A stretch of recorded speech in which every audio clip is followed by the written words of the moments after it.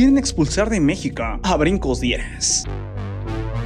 El popular comediante Brincos Dieres, bastante controversial y polémica, se ha metido en un gran problema en los últimos días. Y es que muchos están asegurando que los shows que hace son bastante pesados y deberían de ser prohibidos. Incluso están diciendo que deberían de expulsarlo de México. ¿Pero qué está pasando?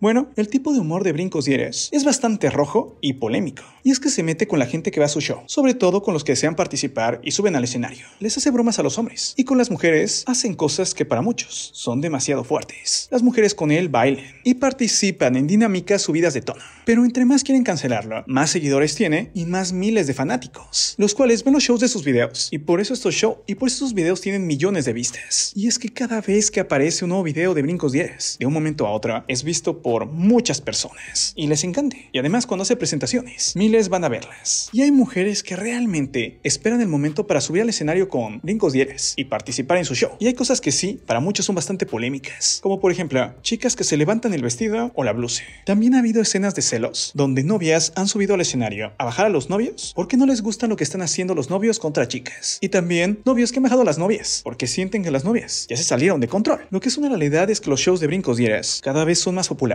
y que sí, hay un grupo de personas que están pidiendo que se prohíben. Pero según expertos, entre que algo sea más prohibido llama más la atención y le dan más popularidad y fama. Y que obviamente no van a prohibir los shows de brincos dieras y tampoco lo van a expulsar de México. Que eso incluso es una exageración y hasta una tontería. Ahora te pregunto, ¿tú qué piensas de los shows de Brincos 10? ¿Te gustaría ir a uno o no? ¿Qué opinas de lo que las mujeres hacen en él y los hombres se atreven también en pleno show? Déjame tu reflexión, quiero conocerla.